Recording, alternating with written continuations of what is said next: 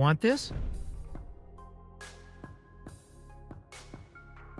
First, open your Alight Motion and add your edit. Then add a shape layer and fill the composition area. Again, add a circle shape layer, then do this.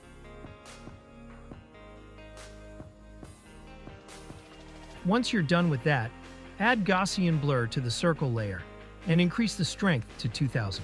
Now trim the layers to match the length of your edit and group both layers together.